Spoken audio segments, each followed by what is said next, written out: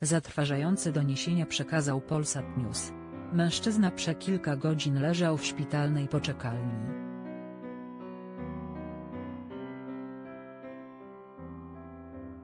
Przez cały ten czas nikt nie udzielił mu pomocy.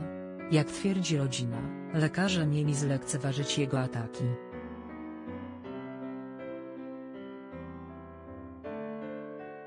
Finalnie niedoszły pacjent zmarł, oczekiwanie na pomoc trwało dla niego zbyt długo.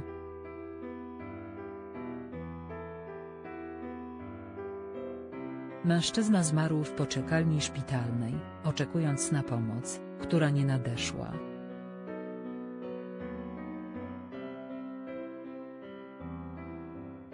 Zatrważające doniesienia przekazał Polsat News. Oskarżenia o nieudzielenie pomocy pacjentowi zostały wysunięte w stronę szpitala w jednej z polskich miejscowości.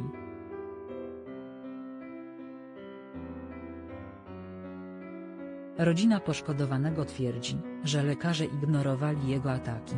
Mężczyzna zmarł w szpitalnej poczekalni, oczekując na pomoc, która nie nadeszła jak donosi Polsat News, do oburzającego zdarzenia miało dojść w Gdańsku.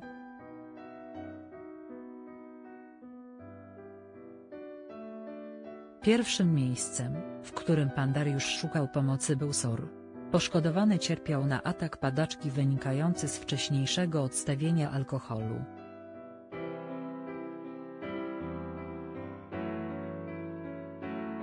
Siostra zmarłego przekazała, że niestety w tym miejscu nie otrzymali oczekiwanej pomocy.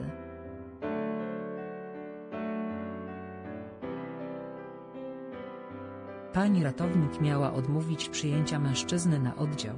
Otworzyła pani ratownik drzwi, przedstawiłam jej sytuację i powiedziała, że brata nie przyjmą, przekazała Brygida Kocuniak, pisze Polsat News.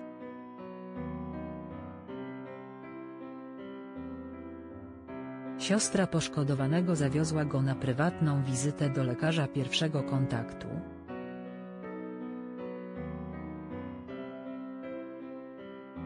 Tam otrzymali skierowanie do szpitala psychiatrycznego w Gdańsku.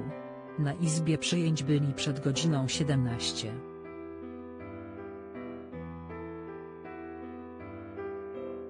W trakcie oczekiwania na wejście, mężczyzna miał dostać kolejnego ataku padaczki.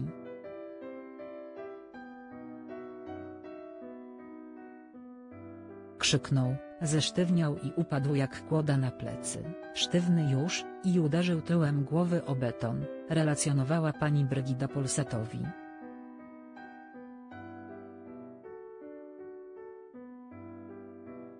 Z izby przyjęć wyszedł ratownik, posadził poszkodowanego na ławce i przeprowadził test świadomości.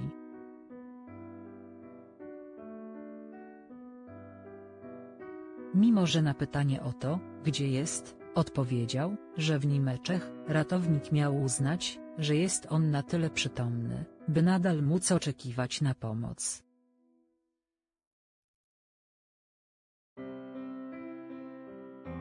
Pan Dariusz pozostał bez opieki medycznej.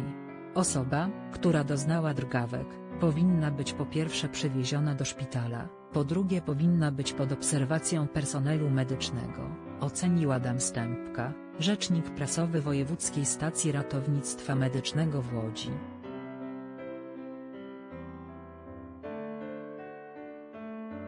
Po jakimś czasie mężczyzna doznał kolejnego ataku, po którym nie odzyskał już przytomności.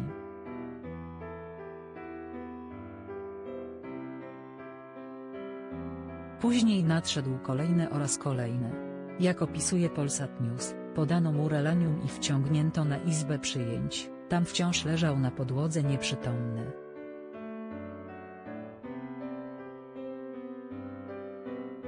Tam lekarz stwierdził, że pacjent powinien znaleźć się na oddziale neurologicznym.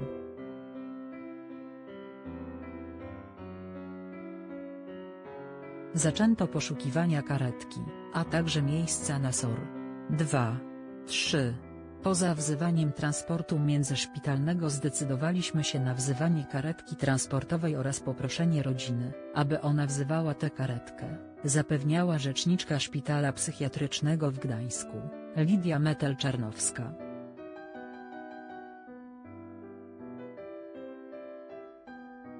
Po dokładnym wywiadzie po pacjenta przyjechała karetka.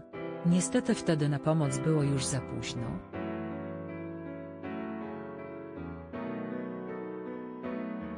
Mężczyzna zmarł w szpitalu w niedzielę wieczorem. Prokuratura zajęła się wyjaśnieniem okoliczności, w których doszło do urazu, będącego powodem zgonu.